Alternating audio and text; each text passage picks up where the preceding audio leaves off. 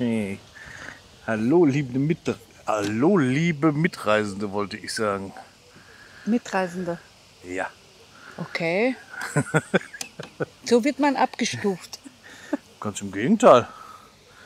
Gut, wie auch immer. Was ich kurz petzen wollte. Die hat heute Geburtstag.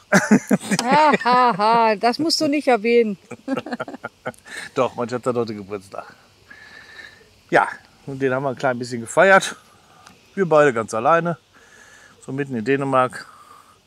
Aber trotzdem schön. So ist es. Jo. Ja, was wollten wir sagen? Wir wollten sagen, dass wir immer noch begeistert sind. Dass es die absolut richtige Entscheidung war, die wir getroffen haben. Wir sind so happy, sind direkt wieder auf dem nächsten Stellplatz.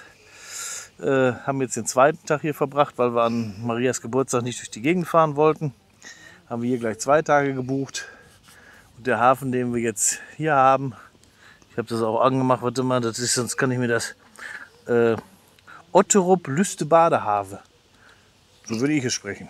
Oh je. Lüsterner Badehafen. Oh, du, du. Nein. Aber ähm, toll, wirklich toll. Äh, wenn überhaupt es irgendwie hier einen klitzekleinen Nachteil gibt, aber auch nur dann, wenn man das eben gerne haben möchte. Hier ist rundherum echt nichts. Also hier ist Bauernschaften, Bauernhäuschen, viel, viel Landschaft und wunderbarer Hafen. Und viel Äh, Wasser. Ja, genau. Aber mehr braucht man eben auch nicht. Wir finden es toll. Aber wenn einer eben sagt, ach Mensch, ich wäre aber gerne noch mal spazieren gegangen und durch zwei, drei Geschäfte, Niet, das könnt ihr hier vergessen.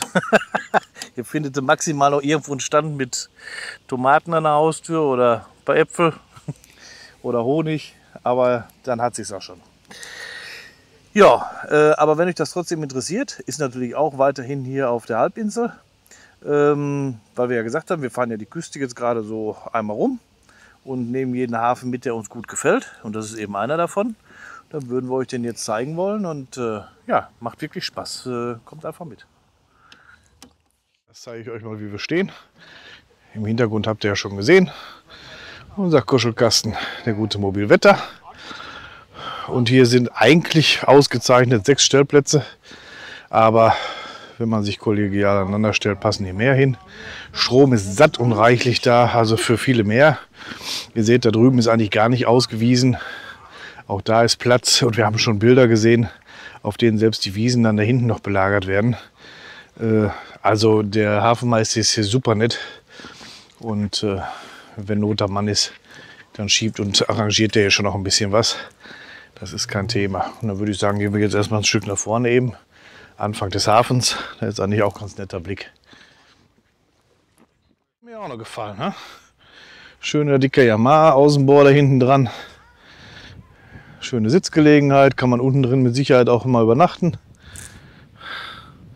Das nächste Projekt, Schatzi. Ein Schiff. äh, Ein Boot meine ich.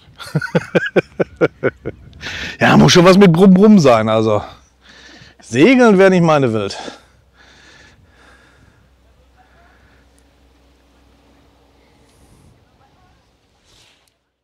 Schaut mal da über die Hecke. Ist das nicht schön? Da hinten dieses idyllisch gelegene Häuschen. Die Bötchen hier.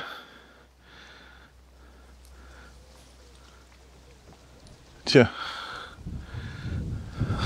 Ich liebe es. Draufmontieren wollen. Runterlassen wollen. Ja, Bin mal gespannt. lassen wir uns mal überraschen. Wir haben unsere Subs zwar auch im Kofferraum, aber bis jetzt haben wir sie noch nicht rausgeholt. Ja, kriegen wir gleich mit. Ihr seht jedenfalls, hier ist die Hafenausfahrt. Der freundliche Hinweis, dass man seine Schwimmweste umtun soll. Ja. Und da draußen beginnt dann auch schon der Bojenwald.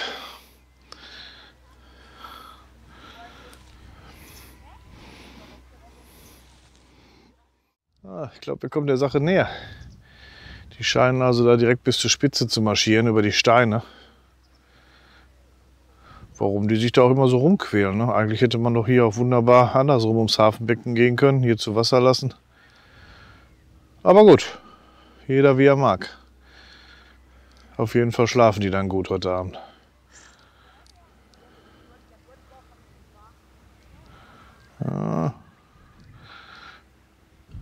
Aber es ist auch nicht zu verachten. Also diese Steine, äh, ich habe das mal vor etlichen Jahren erlebt. Da sind wir auch äh, angeln gewesen, mein Vater, mein Schwager und ich. Und dann auch so ein, so ein Wellenbrecher hier sozusagen, aber mit viel, viel größeren Steinen und viel länger natürlich auch an einer anderen Stelle. Und mein Vater ist bis ganz nach vorne und dann auch mal abgerutscht und mit der Nase nach vorne zwischen die Steine. Gott sei Dank nicht zu hart aufgeschlagen, das hat alles geklappt, aber Schulter ausgekugelt und so in den Steinen hängen geblieben, dass immer wieder das Wasser hochschwappte und das äh, Atmen dann eher schwierig wurde.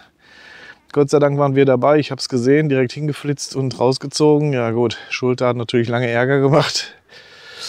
Aber wenn du bei sowas alleine unterwegs bist, dann kommst du aber richtig in Verdrückung. Also sollte man nicht auf die leichte Schulter nehmen. Manchmal kommt es wirklich dümmer im Leben, als man so denkt. So, da.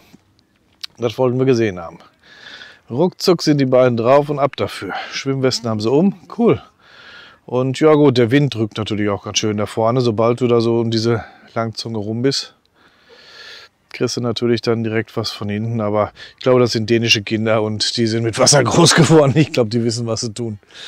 So, Jetzt haben wir das auch gesehen. Jetzt gehen wir mal rum ums Hafenbecken auf die andere Seite.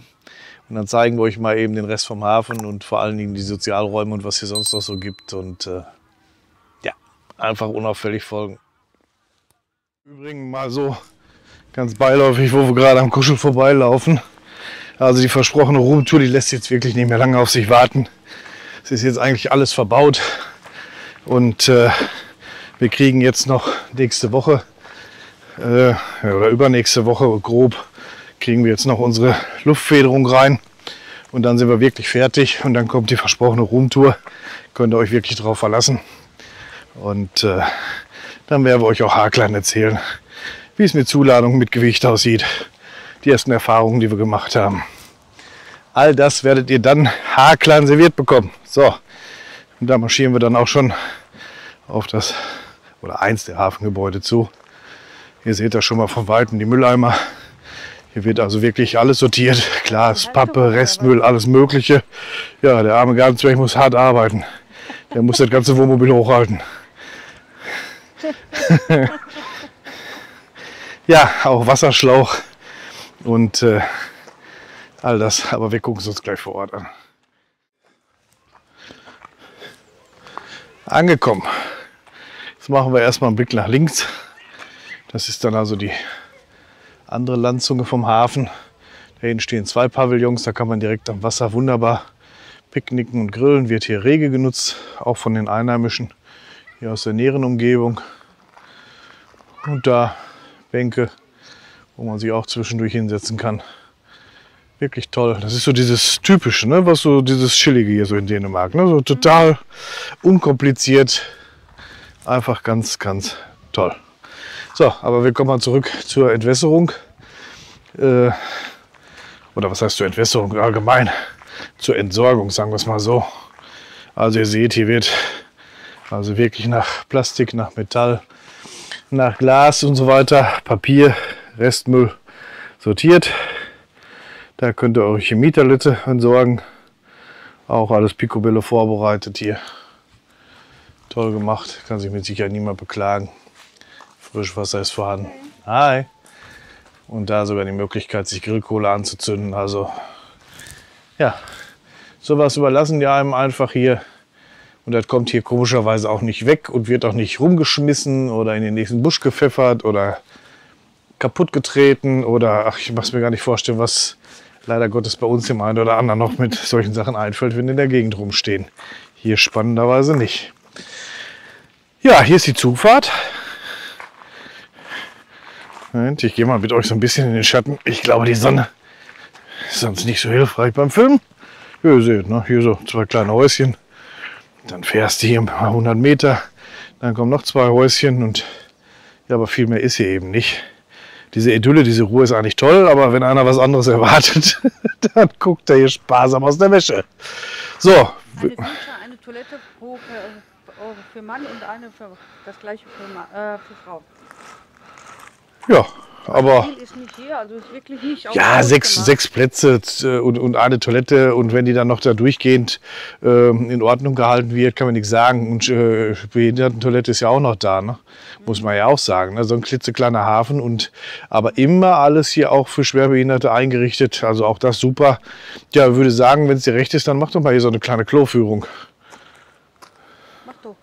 Ja, wie mach doch. Ja, ich folge dir unauffällig.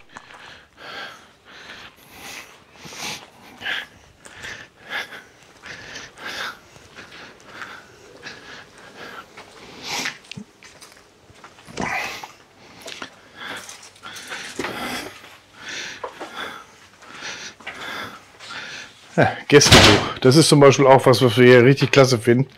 Und da werden wir uns gleich auch noch verewigen. Das heißt, wenn ihr hier vorbeikommt, mal durchblättern, wenn noch nicht so viele geschrieben und das Buch ausgetauscht wurde, dann sollten wir da drin sein. So, hier, Herrentoilette. Schöne Bank, Spülstein, Urinal.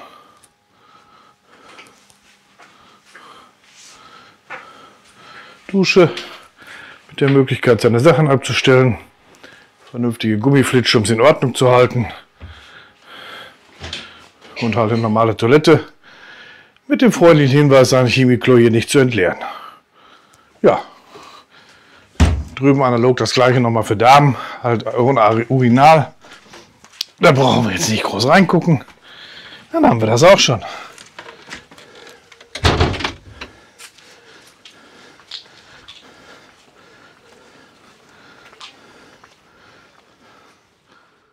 Noch ein bisschen Information. In allererster Linie aber dann für die Segler hier vor Ort.